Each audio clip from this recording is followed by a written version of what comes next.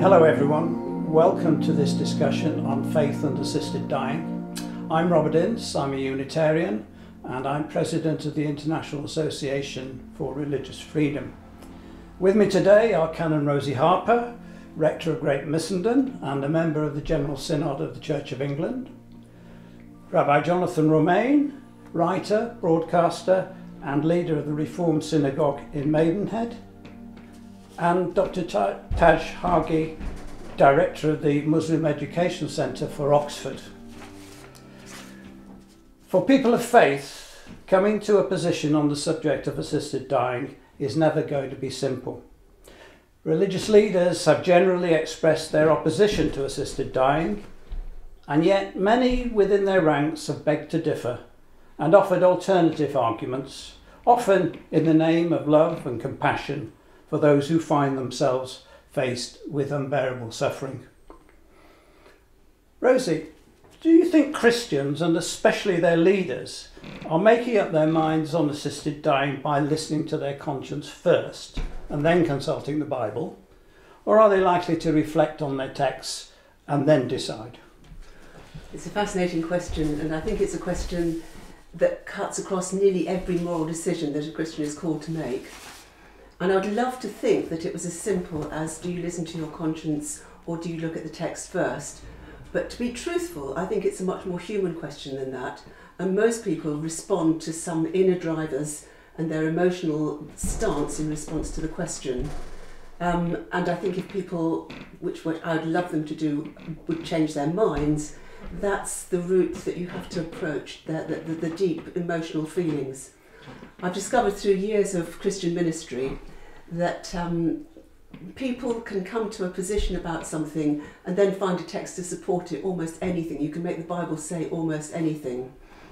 And what I find really difficult is when people listen to my position about assisted dying, which, as you rightly say, has to do with compassion and to do with freedom and to do with autonomy and all the things which, you know, other aspects of your faith really endorse. People will say to me, Yes, Rosie, basically, I, I can see what you mean, and, and, and I kind of agree with you, but God says, and I feel as if there's that opportunity to outsource your moral responsibility to take uh, ownership of what you really feel and think and say, I would agree with you, but God says something different, which leaves people in a highly conflicted situation about it. And I think that's why uh, feelings get so fraught about this. And Christian leaders feel as if whatever they say is going to set the tone for the way in which the whole um, Christian community responds. And because of that, we're now seriously out of kilter between what people in the pews genuinely feel, and they feel the same as everyone else in the country. About 80% of people would like a better conversation about assisted dying, and the leaders who feel this burden to carry some sort of totemic, um, theoretical response to an issue which is actually a gut response. Thank you. Jonathan, how do you think Jews would make their, their mind up? Well, I suppose religious decision making has always been a sort of, for me at least, a three legged stool. Uh, one is the sacred texts, in, in, in our case, the Hebrew Bible. Um, a, a second will be subsequent religious literature, uh, as interpreted by the rabbis and the sages over the years. But, but also, a third one would be um, uh, general knowledge, um, the, the, uh, uh from sort of uh, insights, the knowledge uh, from other sources, uh, from secular sources. But then at the same time, how do you choose between which of those three legs? and that's where I think conscience comes in. And to be very honest, I suspect that I, in fact, I know that I actually decide whether it's on any issue, whether it's on, on abortion or gay marriage or assisted dying. I, I have a feel what I'm is right, and then I look back at them and find which text is going to support it. And I am strongly sure that other people do the same thing. That those people who, um, for instance, are against gay marriage will go straight to a text that supports their view, whereas if they're happy with it, they'll go to another one. So I think actually religious leaders cheat quite a lot. Um, and, and what is, or, or, although of course scripture and tradition are, are enormously important in forming us and giving us a framework, I think personal conscience is, is the overriding factor when there's such a, a, a, these, one of these sort of crucial moral areas where frankly the argument can go either way. And it's actually something within me that says impelled by my mix of religious tradition and modern understanding this is the conclusion I want and hey presto here's a text that supports it. Taj, what happens in the Islamic world? Well, I mean, that, that we need to distinguish between the, what is the Islamic world and what's not. I mean, in Islam we have various traditions. We have the Orthodox, the traditional, the liberal, the Reformed, the progressive. And myself, I'm obviously on the liberal side of things, and uh, I don't follow the traditional Orthodox perspective of Islam. Uh, most Muslims who are Orthodox and traditionalists, they are literalists. They, to them, they will first go to the text and if the text says A, B, and C, and they come up with a situation that says D, D, they won't accept that. And I think uh, for me, there's never been a dichotomy between creed and conscience. Uh, I'm fully uh, of the uh, of the view that Islam says for all of us. Uh, in fact, the Quran repeatedly tells people, "Why don't you think? Why don't you understand uh, that this book is a book for those who contemplate, who ponder, who reflect?" And so for me, it was the reason, your brain, and revelation. So the brain in the book, reason, revelation. There was no, there's never been a dichotomy. And so when I come across issues like, say, environmental pollution, gay marriage, assisted dying, all the hot button issues of our times, uh, I don't find a lot of uh, uh, uh cerebral uh, contradictions there. Because my faith, the, way I understand it, is it asks you to engage with things of a timely and a timeless uh, manifestation and, and aspects. In other words, you can't be a zombie Muslim and to be a robotic believer. Then you can't live in, in the 21st century. We have to be uh, people of, of thought, of thinking, and critical thinking. And that means sometimes you have to go against the, the grain. For example, uh, if we had a discussion, uh, say, 100 years, 200 years ago about slavery, uh, which was a hot button issue that day, and, and the different faiths would, would, would, would respond differently. And today, we look back, saying, how could people actually have defended slavery from a theological point of view?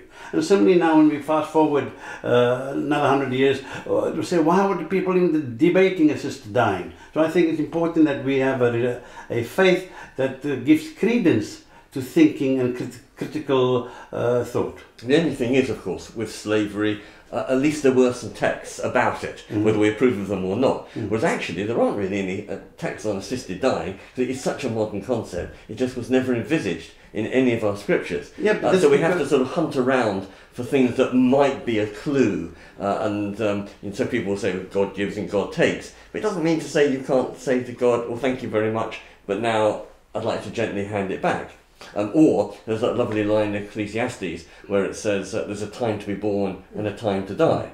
And everyone quotes that, but they forget it doesn't say who chooses. The assumption is it's God chooses. Well, actually, it doesn't say that at all, and it may well be, and I would believe, that actually we can choose and say, particularly if you're terminally ill and you're in pain and you're suffering, that actually, thank you, God, I think it's now time. Yeah, but 100 years ago, no one, 100 years ago, who would know that you only have six months left? Today we have such a modern technology that we, with a great degree of precision we can say, listen, your organs are failing and the likelihood of you surviving beyond three months, six months or a year, whatever, is quite negligible. And if that's the case then, and you have excruciating pain, and you talk about compassion and love and, and, and, and uh, consideration, if, if the Creator is this uh, all-encompassing, affectionate, compassionate, merciful creature or entity, wouldn't he want something less painful uh, for us in our in our last few days on this planet? Well, I agree, which is exactly why you know I, I used to be in against assisted dying mm. for all the traditional reasons, mm. um, but actually um, having thought about it, having seen so many people suffering in hospitals and hospices, and also now being aware of the enormous number of safeguards that are being mm. suggested to prevent the vulnerable or mm. whatever um, be, being uh, taken advantage of. Now, I, have got no doubt at all mm. that it is actually not only a uh, practical option that should be offered to people, mm. but it's a religious way forward, yeah. and it's religiously justified as well as morally. If I may, Robert, I just want to add on this issue about the safeguards. I think the current safeguards are not enough, in my humble opinion. Uh, at the moment, we have we need two doctors to sort of certify that you know you have X amount of days left, whatever. I would actually I want to uh, add a, a third here. In other words, you, the person in, in excruciating pain and, is coming towards the end of his life and his uh, organs are failing, the GP or someone in the GP practice must must certify. The next person is the uh, uh, NHS specialist that's treating you, uh, the consultant who's on a, register list. And then the third one I would like to add is that we should ask the GMC to appoint subcommittees to uh, uh, look at these things. So a three-person subcommittee then will become the final arbiter uh, whether the, the, the, GP and the uh, specialist makes the case on paper to this uh, GMC subcommittee would then look at the data and see, listen, is this now something that cannot be, uh, the, the process of dying is, is, is, imminent and we shouldn't be prevent them from, doing so. So I, I want to see the GMC involved so that we have the most stringent safeguard because people from my faith would say, oh, well, we are all, we, assisted dying is like euthanasia, it's like suicide, and we're playing God and all of that type of stuff. I think we should take that a little bit by imposing these, these added restrictions and safeguards, I think you make that thing but more sellable, if that's the word, in, say in the Muslim community or in some other communities. Yeah, so it's interesting because that point is really important. Um, because people think that it's all right now, mm. and of course, actually, it isn't. What you're suggesting means that it's safer than it is now, mm. because there's still an awful lot of in hospitals where we'll just slip him a little, you know, yes. or we'll just stop feeding him, or we'll just stop this, and we'll just, you know, and lots of assisted dying actually happens, but via the back door without things being articulated. Mm. So I think once it's once it's in the open, right. actually, it becomes safer than it is now. Yeah. Absolutely. Jonathan, can I, can I sort of ask you a, a different question. From a, from a Jewish point of view, is life sacred? And, and what does that actually mean in the context of assisted dying? Yes, well, I'm glad you asked the question in that way because you have to define what sacred is. So for me, I would sacred is a very ethereal word. I mean, just to bring it down to ground, um, I would say yes, life is sacred in the sense that it is special. It needs to be treated with respect, um, uh, handled with care, um, the person honoured, um, uh, but um, it doesn't necessarily mean that it that every last second of your life has to be lived. Uh, and so that, as we've already touched on, if someone is uh, A, dying, uh, B, mentally competent, uh, C, in either indignity or pain, and they wish to let go of life, then they should have that right because it's their life. Um, and whether other people would want to perhaps carry on to their very last breath, that's fine for them. But actually, life being sacred means also respecting people's ability to say, I've, I've had enough of it. Um, and, be, and being able to let go. And, and, and, and those people who say, oh, thou shalt not, I always think is actually rather arrogant uh, that they can then uh, actually take control of somebody else's life against their will. Well, wouldn't they argue, uh, Jonathan, that they're only fulfilling the, or, or the interpreting the scripture the way, uh, uh, on a literal sense, that listen, you cannot take life, God, uh, you can't play God. Mm-hmm. You know, life, you, uh, you found yourself here, and you know, one day you have to go, but God determines that. And so, uh, why are you giving people then that uh, ability to terminate it when at, at their sort of request? Mm. Mm-hmm. Rosie? Well, I think if you're talking about life being sacred, you're right. You have to have to define what that is. I had a letter in the post, a big long written letter that I very rarely get from somebody in Australia that I only opened yesterday. Um, and he told me the case of someone in his family who had been living actually technically alive for over three years in a care home and they couldn't speak and they had to have assistance to breathe and they had to have assistance to have some sort of nutrition that was being pumped into them and he said, What is there that is sacred about that half life mm. mm. that they didn't want to live, that they pleaded, never let me get into that state? So when you say sacred, I think you've got to talk about real life, not this sort of shadowland that some mm. people get trapped in for years and years. really simply because people around them are afraid and unable to act. Um, so sacred, I think, means real living life, not some sort of shadowland that you can get caught into. Mm. Is sacred the sort of uh, business of beyond cost? It's not something that we we consider that uh, uh, you should put a price on life, but it isn't limited to to um, what should I say to to to to, to making value judgments about. But it, but but ultimately, of course, we people make value judgments about their own lives, don't they, and whether it's worth it. I mean, there's no doubt that we should protect life Mm. uh, for as long as possible, as much as possible, um, but not if it's against the will of the person whose life it actually is.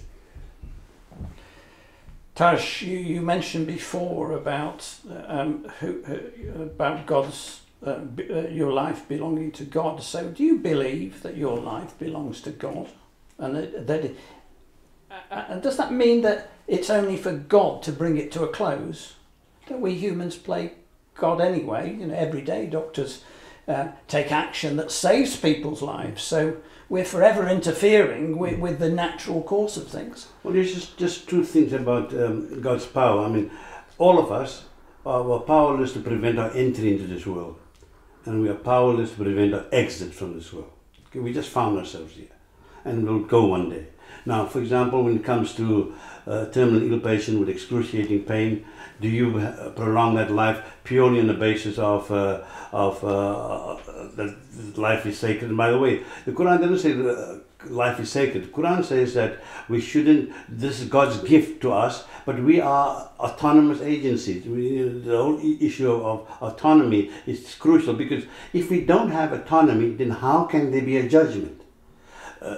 Islam believes that this, there'll come a time of judgment. If I have no autonomy to decide what to do tonight, to go to a lap dancing club or going to have a, a discussion on uh, interfaith relations, uh, I then become, uh, I've ch- chosen the good over the bad, so, so to speak. And so we need independence and we need autonomy. And this idea that, you know, all life is sacred, and as Rosie pointed out, you know, if you live in a vegetable state, how is that sacred? You can't do anything in, the normal bodily functions. You, you have to be pumped with, with nutrition. You can't go to the toilet, so to speak. All of these things. Uh, it's, it's a vegetable s- kind of existence, and that is not sacred. I mean, so this idea that all life is sacred, uh, I don't buy that. I do think that life is special and is a gift from God, and that we have no right to impose our belief system on someone else.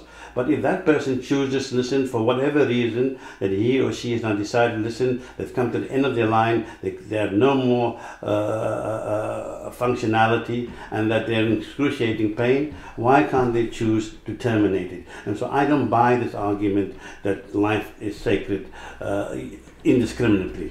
Okay. Yeah, I mean, people say, uh, "Oh, you're playing God" as an accusation. Actually, it's a compliment. We're supposed to be imitatio Dei. We're supposed to be imitating Yeah. God, Yeah. and and and uh, of course, as you intimated in your question, you know, we're constantly playing God and giving people a heart transplant or a blood transfusion. We don't say, "Oh, God wanted you to collapse on the road. We're just going to leave you there and let you die." We always intervene uh, to the best uh, for the best of that person, and sometimes uh, it'll mean giving them extra years. And other times, such as assisted dying, it means allowing them to die with dignity, in peace, without pain. I mean, have we got to the stage now where medical science is so good that it can keep people alive more or less forever if it, if it so wished? Well, We're living longer, but we're not necessarily living better. better. quality. Yeah.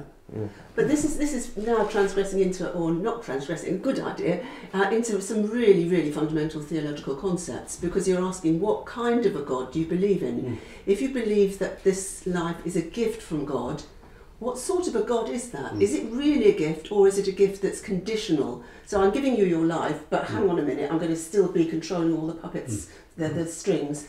Um, is it a God that's a sort of command and control God? Or is it a God that says this is a gift and then the choices that you freely make to love me, Yes. I know are trustworthy? There's a, there's a philosophical story, isn't mm-hmm. there, about the prince, the prince and the, the um, farm worker girl. And he falls in love with her, but he doesn't summon her to the castle and say, I'm the prince, would you like to be my wife? Mm. He puts on the rags and goes to the princess. Mm. And he only trusts that love when it's freely and equally mm. given. And I, I think that the Christian faith certainly is based on that sort of understanding of God, that He wants our love for Him to be freely given. And then once you've given that love freely, you can choose to obey his ways because you can trust that that's how you're going to flourish. But I don't think it's a com- command and control thing. I think that concept of free will Mm. is fundamental to the way in which you then set about living your life. And that free will should not be whisked away from you just at the moment when most people feel they need it most. Yes, exactly. We demand free will in everything we do, virtually, whether it's a choice of a partner or Yeah. employment. Uh, and, and why cannot we have that Yeah. in the choice of death when there's a choice, particularly between a very painful, um, uh, horrible death and, and a death that's peaceful And dignified. and dignified in one's own time and place? And finally, I'm going to ask you, each of you, where you stand in this particular debate. So I'll start with Rosie. Well, What- it's very interesting for me because um, I'm half English and half Swiss. And in Switzerland, they've had assisted dying Mm. for over 60 years. And so there's a cultural dynamic to this. The conversations are much more normalised in Switzerland. Everyone, as a part of the process of coming to terms with a terminal diagnosis, thinks quite openly and naturally about do I want to go down that route or not? And I've had family experience of that being a very good and helpful thing. So I know that it, I, I come with a baggage, a positive baggage, I think. Um, once I started to articulate that, I found that the hierarchy in the Church of England found that very difficult. But, and it was to my surprise, people in the local church were just very, very relieved to be able to have an open conversation about it and said, I've actually always felt that. I've always thought that wouldn't it be wonderful if I had the ability to say, I, I just don't want to have to go through those last three weeks or three months or whatever it is. I'd like to hand my life back to God now, and I'd like that to be okay. And it was a freeing thing, and it, it, it was a chance to have a more mature relationship actually with my congregation once that was able to be an open conversation. So yeah, I'm I'm in the position where I believe that this is an honourable thing, totally aligned with my understanding of a good, loving, compassionate God who gives us free will. Jonathan. Yes, and I agree that there's a total disconnect between what the religious hierarchy are saying and what religious people feel. And time and time again, I've given talks to all sorts of groups um, and expected to be pilloried, and actually found I was pushing at an open door. And the critical question I always um, uh, ask people is look, forget about the theology, the philosophy. If it was you, and you were dying and you were in pain, would you like that option? And of course, virtually always the answer is yes. So if you want it for yourself, why can't you give it to other people? And also, I'm very strengthened by the research that's come out of Oregon, and it's allowed us to almost see the future, something I wouldn't normally say. Um, but you know, Oregon's been doing this for 25 years, and we can see the results. And that actually, it hasn't been sort of um, free for all or slippery slope or any of those sort of things. But, but it's been done in a very calm and a very measured way, so much so that the palliative care um, people who in this country are passionately against assisted dying, over there who were against it have now come round to it and work in, in harmony. So ultimately, I'm now in favour of legalising assisted dying as an option for those who so wish, although hedged with certain conditions. The person does have to be mentally competent, uh, terminally ill, and want it of their own free will. Yeah. So, so just to be clear, terminally ill, I, I understand that- but in Oregon, uh, the, the the there's this time limit of six months. Would you would you Yes. subscribe to that? Yes, I, I Uh, think so. Uh, because obviously we don't want to have a situation where someone who is, uh, uh, for instance, um, going through a bad patch um, uh, in their 40s or whatever, 20s, 30s, whatever, um, and uh, makes a, a, a- rash or a hasty decision, um, uh, and, and whereas otherwise they, they might have gone on to, after recovering, lead a very sort of long and healthy and happy life. So this is for people whose life is ending anyway, but they want to end it well. And I think actually we have a right, as much as possible, to a good death. Thanks, Taj. Yeah, like uh, unlike Rosie, uh, uh, in my tradition, uh, we have uh, Orthodox Islam and say traditional Muslims, and for them, they have come with a huge baggage that under no circumstances can interfere with uh, God's uh, uh, prerogatives of giving and taking of life. And like Jonathan, I used to be, um, and I'm quite uh, happy to admit this. I- was never fully against assisted dying, but I, I wasn't a big supporter either. And over time now with studying research, I've realized, listen, you know, um, if someone has come to that time of their life where there's no f- f- uh, uh, uh, medically uh, possible reason for them to have a good quality of life and they have excruciating pain and terminally ill, shouldn't they at least have the choice? Mm. And, and the idea is about choice. And so uh, I'm now, uh, there's an open door as far as Muslims are concerned. It's like the door is quite shut Mm. and you need sort of a, almost a battering ram to go through this thing because uh, we have to give people choices. And the trouble with Orthodox Islam and traditional Muslims, they don't want to give anyone choices. It's either their way or no way.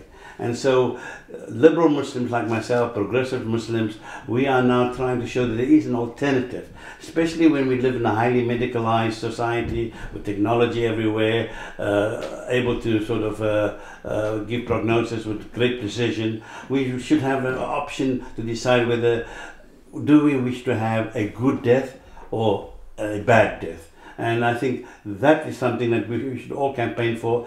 Jews, Christians, Muslims, atheists, vegetarians, Jedi's, the whole lot, you know, so that we all come up and do something positive for all of our society, for the whole community, rather than just for one specific faith. Okay, thank you. Well, from my perspective, uh, it was all brought home to me uh, uh, at the end of last year when my cousin, who was who from the age of one had suffered from muscular dystrophy, uh, but she'd had a really exciting life within the limits of her uh, her disability. She'd uh, she'd always driven. She'd done parachutes. She'd gone sailing. Uh, but at the end of the day, and she was just over seventy, her um, her arm started to give up, and the, the whole you know she really got to the bad stage of muscular dystrophy. So she took herself off to Switzerland, and um, she said, "I I can't can't live with this anymore." and I fully support what she did because I think she understood that, you know, there's a point in life where you say enough is enough. So thank you all for your thoughts on what I know is a diff- difficult subject for people of faith. And I hope for those of uh, you listening to this discussion, it will prove helpful t- in your understanding and it may form the basis of a uh, discussion you may have on the subject with others. So thank you everybody.